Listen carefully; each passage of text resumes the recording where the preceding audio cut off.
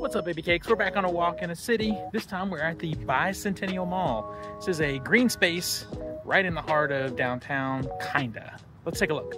Starts here. Usually these fountains are going. I don't know why they're not. And there's a little sort of info thing, infographic there about the rivers of Tennessee.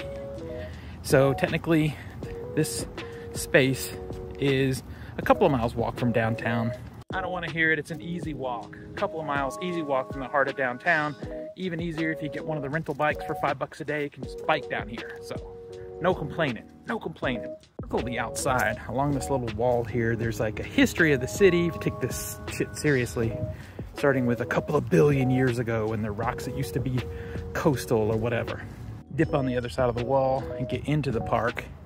There's a cool little venue here where they have special little shows. It's not huge, but it's a fun spot for small shows. They do like some plays and some music throughout the summer.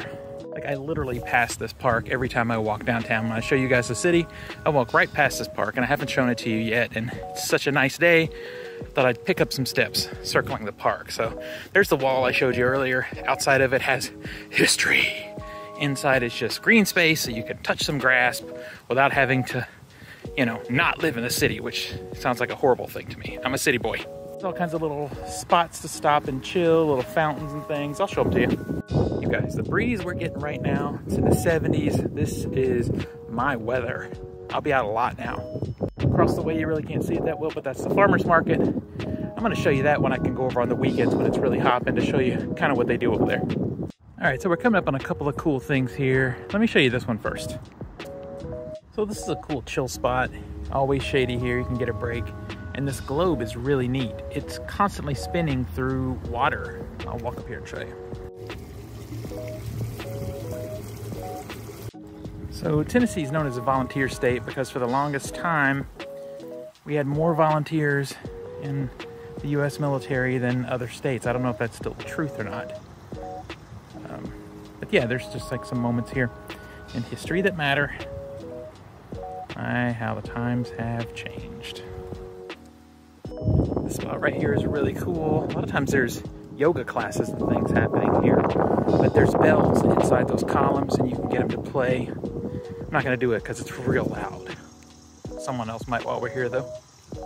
For me, when I used to bike all the time, this used to just be a cool spot to turn around in the park.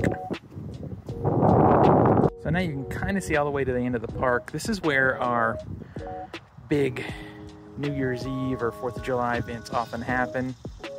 Actually, I think it's mostly just New Year's Eve that happens here because it's more about music. The 4th of July happens on the river where they can do more fireworks, but it's crazy how many thousands of people they can fit in this spot. It's always shocking to me how many thousands of people come to our New Year's Eve event here and how they fit them in this spot. And it's not like just shoulder to shoulder, it's really tight but it's manageable. So it's a really cool event. They rope off the entire park. The only problem is, is it does destroy the grass and stuff. So it usually takes a month, it takes the entire month of January to recover the park, but it's usually a cool event. Check it out. There's always just some cool shady spots to take a break and get walks in. We circle the park, so I thought I would end this by bringing you over, giving you a better look at the little amphitheater that's here. Yeah, they leave it open people can come in here and sit and chill, just kind of enjoy the space. There's more trash on the ground than I would like to have seen, but people are trash. I think we all know this. Look at this. I love these little spots because you can forget for a minute you're in basically the heart of downtown Nashville. so cool.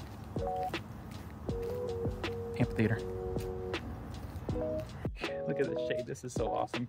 I'm going to head downtown. I think maybe that's what this video will be. I'll show you another really cool green spot in the city. Okay, this is Broadway. All the action. We're going to go a block this way. I'm going to show you the next green space. Oh, this, ignore this. The the fact that I'm out getting some steps in, just burning some calories, you know, trying to be healthy and this chocolate peanut butter milkshake from a local ice cream place just called to me. I didn't have a choice, really, I didn't have a choice. Okay, so there's a lot of ways to go here. You can circle in and go around the amphitheater, go around the outskirts of the green areas. Now it varies depending on if there's a show. If there's not a show, It's really open. You can even go inside where the amphitheater is. I believe it seats 14,000 people, but I think they might be prepping for a show. So we may be a little bit limited in the way we can go, but let's check it out.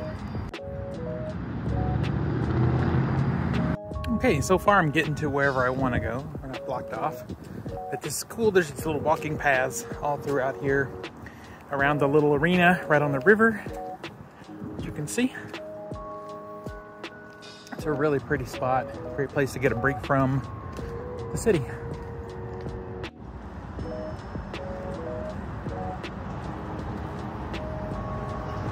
As I was saying, there's lots of different directions you can take. There's these cool art pieces everywhere with places to sit. Yes, it is by the railroad tracks, but I think that's kind of cool actually. And then of course we have the river over there.